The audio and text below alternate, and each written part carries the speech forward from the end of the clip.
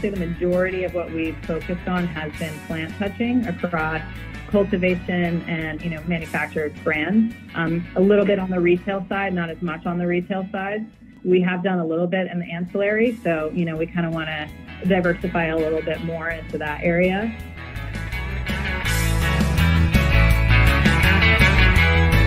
From MJ Bulls Media, it's the Raising Cannabis Capital Show.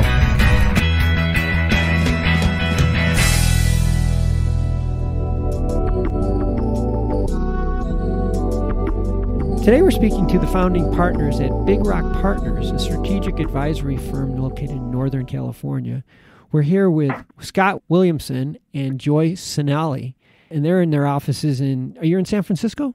That's correct. Well, welcome to the MJ Bulls podcast. Thanks for having us. This will be an interesting interview for us today because you guys are sort of in between the cannabis companies that are raising capital and the investors that want to invest in the cannabis industry. Can you tell us a little bit more about Big Rock Partners to kind of get this thing started? Sure thing. So, Big Rock Partners was founded by a group of folks that came from a bunch of different industries, and pretty much all of us had some inroads into cannabis in, in some way, shape, or form. And so, what we do is we're a strategic advisory firm that helps companies and investors sort of come together at the focus of food, hospitality, and cannabis.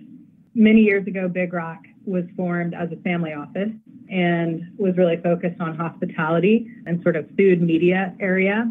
And then certain cannabis investments started to come into play. And basically, we've evolved the organization to be a partnership because we've had a huge number of accredited investors and family offices kind of knocking on the door to gain access to angel seed stage series A companies in the cannabis space. So we provide kind of a diligence funnel for those investors to take a look at what we feel are some of the best brands mostly in Northern California, but across California at large.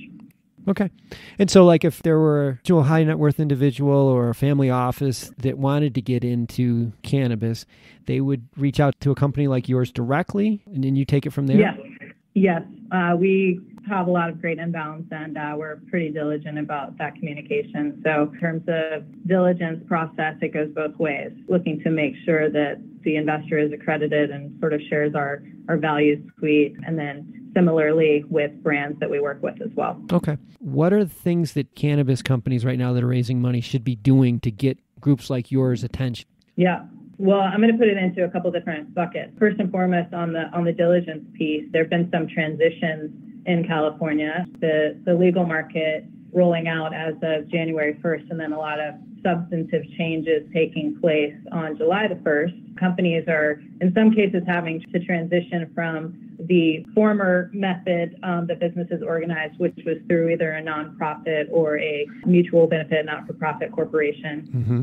So you're seeing a lot of transitions on the actual formation into operating companies, and in some cases, a company is three different entities: a, a hold co, with a couple different um, actual operating companies underneath it. So we really look at how are they creating a, a proper investment vehicle that is appropriate um, and that you know you can not only put money into but you can get money out of eventually. So that that diligence piece is one of the first important areas. Um, the second is obviously revenues and are they trending in the market? Do they have something special? And that would you know come into sales and distribution stability and also do they have have any sort of secret sauce or IP that's really specialized. And then the third category would be people. We like to work with great teams that have strong networks, have built great SOPs, that have surrounded themselves with strong managers and, and a great staff. You're in Northern California, and I know most of your focus is, is in Northern California, but you're pretty much open to just about any cannabis investments right now. Is that correct? Yeah, it is. I would say we lean a bit premium to some of the brands that are going to be a little bit more middle market focused, maybe aren't necessarily aligned with, you know, our appetite. But if you have a really great trending product is definitely something that we want to take a look at. Like um, we have done, I would say the majority of what we've focused on has been plant touching across cultivation and you know manufactured brands. Mm-hmm. Um, a little bit on the retail side, not as much on the retail side we have done a little bit in the ancillary. So, you know, we kind of want to diversify a little bit more into that area. You know, we're we're pretty agnostic. Okay. I'm sure our listeners are going to find that encouraging because I know a lot of a lot of our investors are still skittish about touch anything that touches the plant. So they're they're looking for opportunities outside of that as well. So that's that's interesting.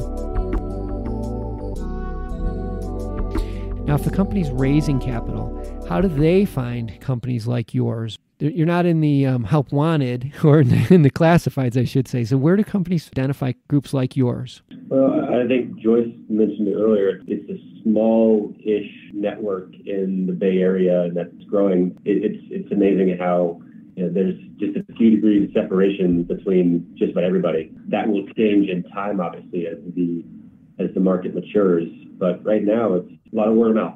Okay. Yeah.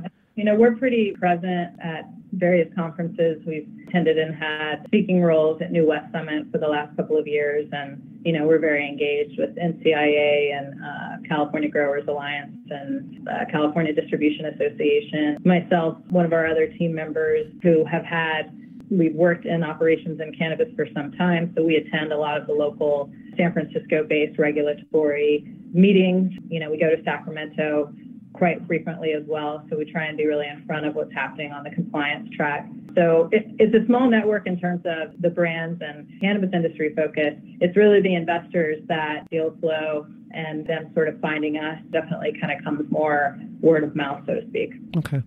That makes sense, especially where you guys are. It's like you're right. You're right in the hotbed. When a deal comes together, and we're in the middle of a deal, these guys want to raise capital. This company's raising capital. You find the investors that want to get involved. Are you involved in that process in, in, in working through the details of the transaction? Yes, definitely. So we have, have a, a diligence filter. We preview, and if we're really interested and it looks like it's the right set of circumstances, then we'll sort of run it through our. I mean, it's not a super fancy algorithm, but yeah. we have a process and basically in understanding what specific investors' appetites are, whether that be plant touching, early stage, strong growth opportunity, or a specific sector within, you know, any of these sectors, we would then put that information in front of those investors. Well, we've been speaking with Joyce and Scott from Big Rock Partners, and all their information, all of Big Rock's information, and their web and their email addresses will all be on the MJ Bulls website at mjbulls.com guys thanks so much for explaining all this to me. I know it we, we, took our time and went through a lot of a lot of details but was, i think this is going to be really helpful for our listeners. Thank you. You're welcome dan. Thank you so much. Thanks dan. Good luck.